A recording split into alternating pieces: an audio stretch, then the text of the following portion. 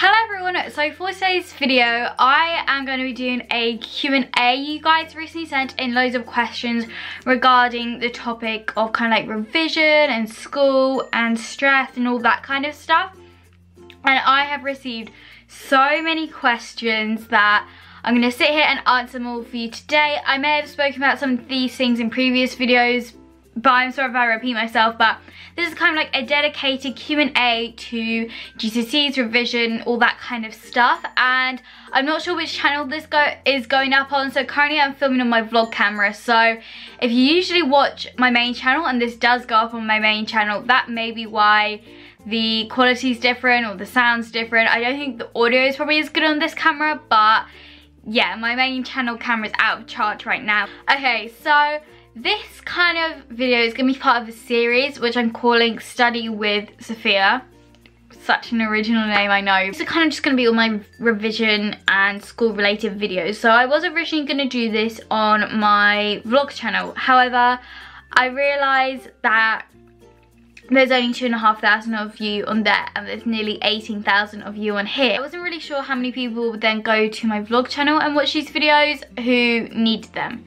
So I decided I'm going to upload them on my main channel. These videos are going to go up on Wednesdays and then proper how to revise videos will go up on Sundays. Obviously the beauty, the fashion videos, they'll still be coming. This is just like in general when I do upload these videos. So make sure you're subscribed, turn the notification bell on so you know when I am uploading this kind of video. Obviously got some makeup videos, fashion videos, they're still coming within the next few weeks. So I'm just gonna try and do these maybe like two times a month, maybe one time once a month, I don't know. It depends how popular they are. Also, I just wanna say, I'm really sorry if this goes out of focus. I keep looking at the viewfinder just to make sure because this camera seems to have like a tendency of just blurring in and out when I'm not vlogging with it. So the first question is ways to not procrastinate while revising. I think everyone is guilty of doing this. Everyone just doesn't want to do it because it's such a chore and it's such hard work. But I think you just have to kind of remember at the time you're doing it that the hard work's going to pay off. It will be done soon. The quicker you do it, not the quicker, but the sooner you do it, the sooner you'll have more free time. I think to kind of avoid it, put away your phone, put away anything you know, that's going to distract you. Even a book, if you're a really keen reader, put away all the books so you're not tempted to pick one up and read. Everyone's guilty of it, but we all just need to try and like persuade ourselves that life will get better. How do you get motivated to revise? I go through phases where I'm all for it and I go through phases where I literally can't be bothered. So the way I've kind of motivated myself now is rewarding. So once I revise, I can film a YouTube video, or once I revise, I can have some ice cream. You know, like little rewards are really, really helpful. I don't know if you can see behind me, but I've actually made a revision timetable because our mocks start at the end of June and we've been recommended to already start revising now as it is two months away but there is so much content, especially for science. It's two years worth of content. Same with maths, two years worth of content. So I've made a revision timetables behind me. Um, if you'd like a video on how I did that, then let me know, but it's not really that difficult. So to motivate me, I have to have that.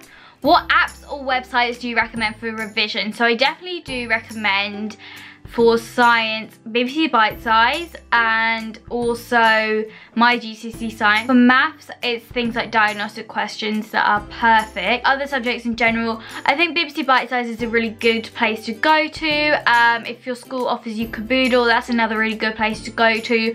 But really, I don't tend to use apps as much anymore. I used to always use like the same apps. Now I kind of just use apps such as Quizlet and Duolingo and Vocab Express and things like that for specific revision. That's kind of like self-testing, but I don't really use any apps which provide with information. What are your favorite revision methods? I am a big fan of mind maps. I just find that everything is then in front of me and I can remember it. I can actually start to visualize like where things are placed and it's all about color and positioning.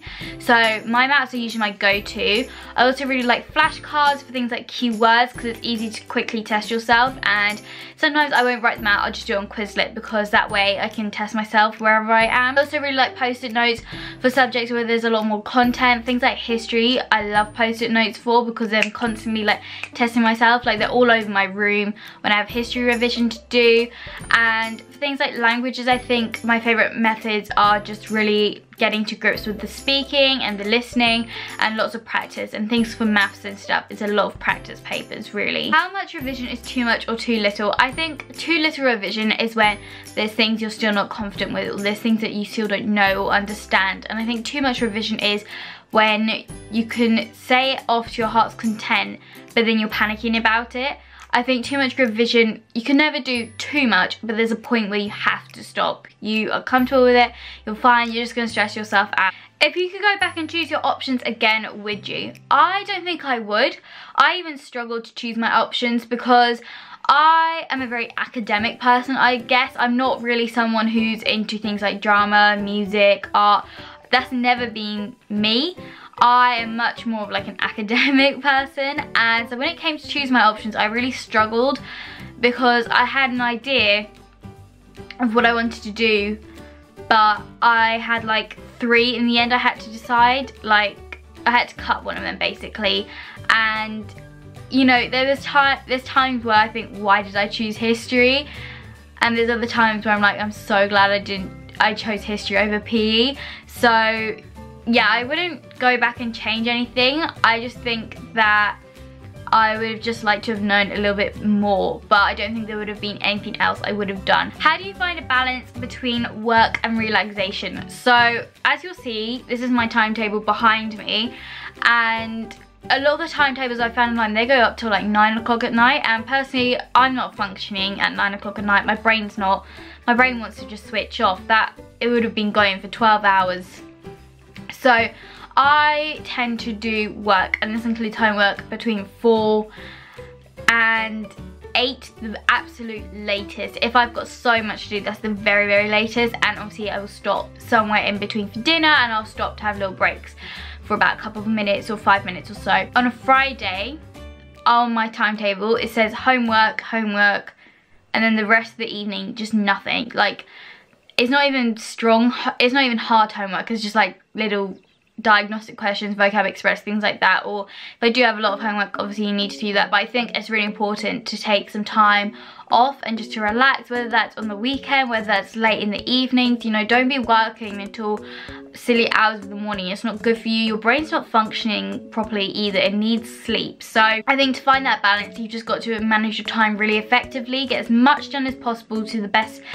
to the best of your ability and to the best quality it can be and then relax.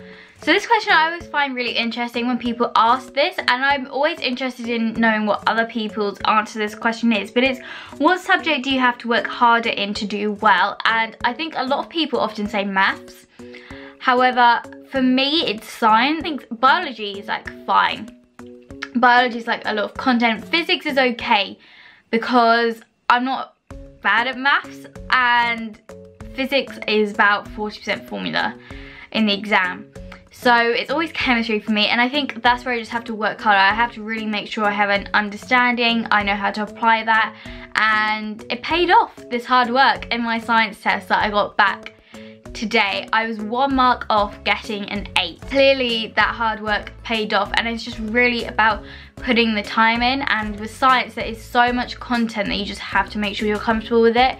So out of all the subjects that's the one I just put extra hard work in because that's probably my weakest subject. So this question will kind of reflect my revision timetable and this is how many subjects you tend to revise for on a school day and for how long. So obviously being in year 10 we're still being set homework it's not like we've got the real exams. We've got mocks across the country. Everyone in year 10's got mocks, whether that's now or that's in June or May or whatever. So obviously teachers are still setting homework because they have to get through all the content. How I have to manage to get revision in as well as homework is that I'll do an hour of homework, then I'll do an hour of revision of one subject, have my dinner. It probably doesn't all time quite perfectly. After dinner, I'll do another hour of revision for a different subject and then I will go back to homework. But obviously at this kind of stage, you have to prioritize your homework over your revision just because that has a deadline, whereas revision you can catch up on. And it, at the moment we don't have a specific deadline. So I think once the homework stops, then it'll be fine. But obviously it's not gonna stop just yet. And I've noticed, you know, we've been set loads over Easter, but then like nothing now. So I think it's gonna lay off for a little while because they know people want to try and start revising, which I think is really nice. Then it will all pile back on again about May half term, and then they'll try and relax off just before mocks because they want people to actually revise and do well.